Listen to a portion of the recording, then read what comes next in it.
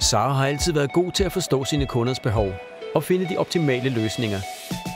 Hun elsker kreative problemløsninger, både på arbejdet og i fritiden.